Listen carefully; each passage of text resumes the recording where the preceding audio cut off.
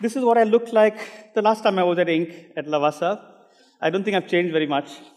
I'm from Goa, beautiful place, the sun, the sand, the surf. And I, I grew up in the 70s. I was born in 1966. So I, was, I grew up in Goa in the 1970s. And Goa was much, much more unspoiled than it is today. But even so, I did see inequality when when I was growing up. So let me tell you about an incident when I was about five or six years old. I had gone down to, that's my house at the back, uh, behind those trees in the background, and I'd gone to a little tea stall down there. Uh, I was, as I said, I was six years old. I had a 10 paise coin in clutched tightly in my fist, and had gone down. Those are the days when you could actually, a six-year-old could go around the block without parents going crazy, and you could get a good tea time treat for 10 paise. But anyway, I, when I went there, I saw a poor man shall we say, maybe a beggar, who was being driven away very, very rudely, physically, being, uh, being beaten away and told not to go. And suddenly I made that connection with this piece of metal that I had in my hand, allowing me to eat something, and this person not having it and not getting it. And I felt it was very, very unfair. Right then. And, but I grew up and I did not know what to do about it. I love music very much. I did not know how to channel it. Being, growing up in India in the 70s, there was no Google. I did not know how to uh, go to pursue higher studies or whatever. So I ended up becoming a doctor. And not only that, I became an obstetrician and gynecologist, and I delivered more babies than I can even remember. But every time I held a baby in my hand, I would think about the potential of that child. And I would say he or she is capable of doing anything if we can only give that opportunity and the encouragement. It's like the Louis Armstrong song, you know. He or she will know much more than I will ever know, and who knows what, what could possibly happen. And again, I should think about the unfairness of it all. It's all, it's a luck, luck of the draw. If you're born to a rich family, you're fine. If you're born to a poor family, not so. Why should it be like that? I got a chance to go to England in 1998 and I took it not because, not so much because I wanted to get the Royal College uh, membership or whatever you call those alphabet soups, but I also wanted to be part of the culture. So I learned as much as I could, playing in orchestras, going to concerts, master classes, all sorts of things, and I had a wonderful time. Now, cut to the last few years of, uh, of my living in the UK. I was now married with my wife, Chriselle. And I just made a stray remark to her in January of 2007, where I, I, don't know where the idea came from. I just said to, the, to my wife, wouldn't it be lovely if we could give instruments to India's poor, disadvantaged people, the ones that you see running on the street and we sometimes do not even notice? What if we could give instruments to these kids and they could learn how to play them well? We would have orchestras all over the country. I just said it. And I forgot about it. And that year, you know, there's a big festival going on even right, uh, just, it just finished actually. It's called the BBC Proms Festival at the Royal Albert Hall. That year, in 2007, there were two orchestras made up of exactly those kids I was talking about. These are the kids from uh, Soweto, uh, Johannesburg, Soweto Buskaid Ensemble, and they played mind-blowing music, you know, alongside uh, very professional musicians. And uh, the next one was uh, this, uh, this orchestra from Venezuela. It's a wonderful movement going on since the 1970s. And they played to such a high level. It was totally mind-blowing. And this is the first time I made the connection between music, which I love, and a social empowerment, which I'm passionate about as well. And I could see a happy marriage of the two. And then, honestly, I can't tell you what began to happen. Things just began to fall into place.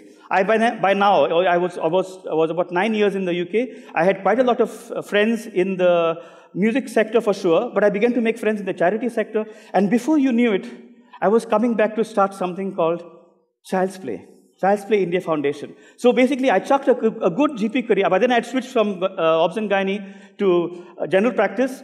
I chucked a general practice career in Buckinghamshire to just come back with no safety net to Goa to start this organization. And basically, it's not only social empowerment. There are many other things that you get also from, from music. If you play an instrument or sing, you will definitely prevent the onset or delay the onset of, of Alzheimer's disease. So this, there are many benefits. Some of them already enumerated here. I won't go in through them. But there are also other benefits. There are civic benefits. Statistics from the United Kingdom show that if you play an instrument or sing, it doesn't have to be professionally, you are more likely to vote. You are less likely to uh, get on the wrong side of the law, whether it is uh, returning library books on time or having a criminal record or littering. You are more likely to be, to be uh, passionate about the environment. You're likely to be a better citizen because music has many extra musical benefits. When we play together, as you'll see my kids play very soon, we, what are, what are we doing? We are actually a microcosm of society. We are all a democracy. No one is bigger than the other. Each one is just as important. Even if they have to play fewer notes, it doesn't matter. All of us are just as important. We learn teamwork. We learn discipline. We learn harmony. We learn how practice makes perfect and how hard work pays off. So these are huge lessons that sometimes we don't learn in the classroom. So these are the benefits I was just talking to you. There are so many other benefits that you, that you learn uh, from music which can, can help you. So these are basically things that we began, and this is our boy that you will see very soon. He was our, he's my poster boy. His name is Irfan, and he was the first child that we taught. On the 5th of January 2010, we had him among a small clutch of kids playing open strings. Okay, now this is the same boy, a little bigger. We now have a violin project. So we have, in, total, in Goa alone, I'm, ho- I'm hoping that we can get bigger and go out all over the country. But we have over 60 kids learning violin, viola, cello, recorder, flute, clarinet, piano, and choir. I think that's quite something in the last few years.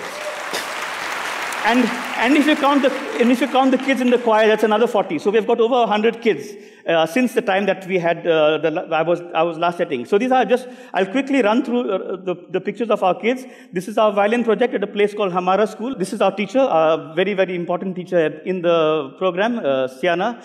This is the recorder project. They're performing at one of our concerts. The, are, some of the girls have moved on to transverse flutes. You'll see them as well. Uh, we began a cello project, which I, is actually needs a lot of help. So we hope that, that we can strengthen that. So the cello project, the viola project, the violin project at another school called Auxilium School in Caranzalem, in a village called Santa Cruz, and the, the children's choir. We've got an adult orchestra called uh, Camerata Child's Play India, which I hope to turn professional someday by getting teachers who can also play in the orchestra as well as teach. And we'll have killed two birds with one stone by having done that. But this is one of our, after one of our concerts at a beautiful church in Santa Cruz. And this is our junior camerata. Now this kid, this, is, this orchestra is made up of even bigger number of kids. So this is after one of those concerts, our choir, and this is our kids. So without any further ado, I'd like to welcome our kids to the stage. So we have the cellos here. This is our cello teacher, Leo, Raghu, these are the viola kids that I teach myself, Cheryl and Jasmine. We have Alice Cobry, who's come especially from the United States to be with us, and Akshada. We have the recorder kids. We have our real star, Anita, is over here. We have Chanel, one of our teachers, and our live wire teacher, Siana Fernandez. Big round of applause.